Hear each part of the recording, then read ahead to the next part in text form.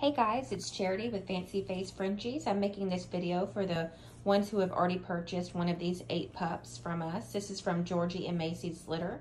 I was wanting y'all to know that we have a grate down here that normally goes in our crates. We put them at the bottom of our smaller crates for when we're traveling. If they vomit or pee, it'll go through and they won't be sitting in their pee or vomit on the road trips but we ended up putting it in here in this water trough because you know when we were moving we didn't have everything set up like we wanted.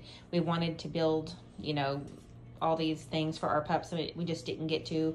Our mama dog was pregnant and we had to move and um, we moved from Bentonville over here to Batesville and so we just made do with what we could. So we got a water trough then we put the puppy pads in the bottom put the bed on one side and the grate on the other. And for the most part all these puppies come down here to the grid and they pee and poop and it goes through. And so they're not stepping in their poop and they're not laying in it and wallowing in it. And you know it's just more sanitary.